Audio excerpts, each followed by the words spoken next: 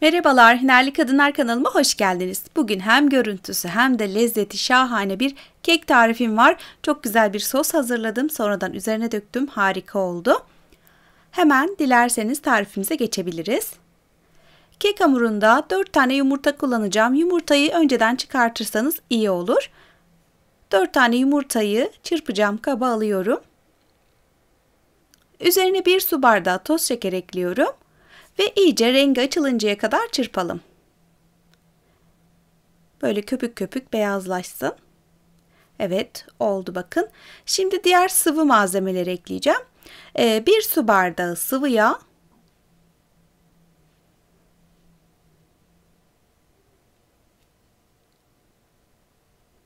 Bir su bardağı süt. Çok kısa bir sürede bunu karıştıracağım.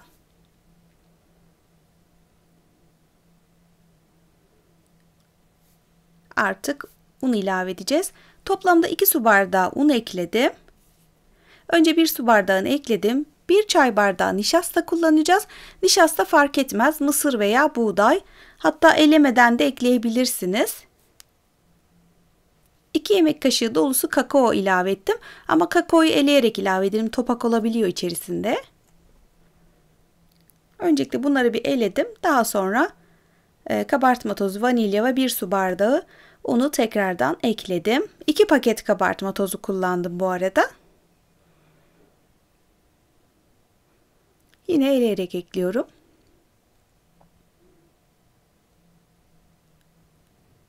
Brownie tadında çok güzel bir kek oldu. Denemediyseniz mutlaka yapın diyorum. Hemen kısa bir hatırlatma yapmak istiyorum. Kanalıma henüz abone değilseniz abone olabilirsiniz. Zil sesini açarsanız da hemen videolarımdan haberdar olursunuz. Hatta bu videomun altına da yorum yaparsanız çok mutlu olurum.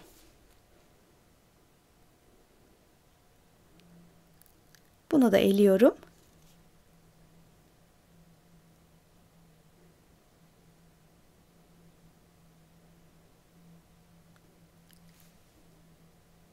Karıştıralım.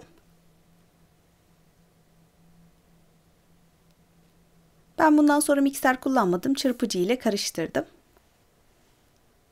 Evet güzel oldu. Hem rengi hem de e, katılığı çok güzel. Kalıbımın içerisinde katı yağ ile yağladım. Tereyağı veya margarin ikisini de kullanabilirsiniz. Hangisini istiyorsanız. Hemen kalıba döküyorum. Fırınımızı da bu arada 180 derecede açalım. Önceden ısınsın. Evet şöyle üzerini bir düzelttim. Brownie tadındaki kekimiz fırına gitmeye hazır. Şöyle yaklaşık 50 dakika pişirdim ben fırınımda ama çıkartmadan önce kürdan testi yapabilirsiniz. Kürdan temiz çıkarsa çıkartın.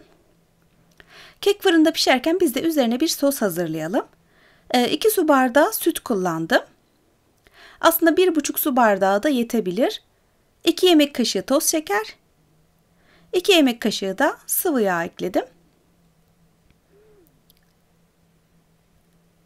1 yemek kaşığı da usta kakao ilave edeceğim.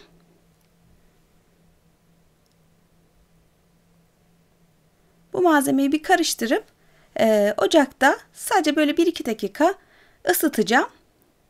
Bakın ısıttım. İçerisine 50 gram sütlü çikolata ekliyorum. Bitter de kullanabilirsiniz. Yani çikolatanın erimesi için aslında sütü ısıttım. Şimdi iyice karıştırdım. Ve sosumuz hazır. Kek pişene kadar kenarda kalsın, soğusun. Evet kekimiz de pişti. Çok güzel oldu. Şimdi bakın kürdan batırdım temiz çıktı. Kek bu arada sıcak. Daha yeni çıkarttım fırından. Ee, sıcak sıcak sosu dökeceğiz. Ama kürdanla böyle birkaç delikler açtım ki e, sosu döktüğümde güzelce sos her tarafına yayılsın diye. Şöyle sostan ben bir çay bardağı kadar da ayırdım. Hemen onu da belirteyim. Ee, kalıbı çevirdikten sonra üzerine dökmek için. Kek sıcak, sos soğuktu. Şimdi her tarafına döküyorum.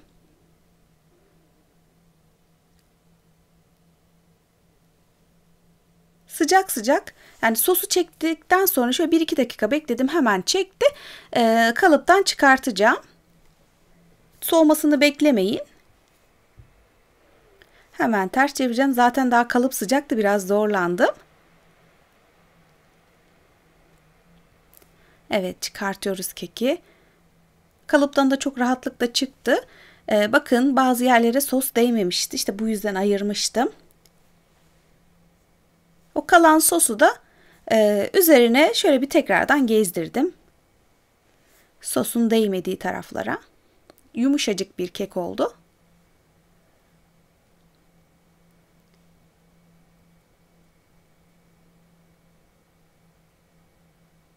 Bu sosu döktükten sonra isterseniz süsleyebilirsiniz de.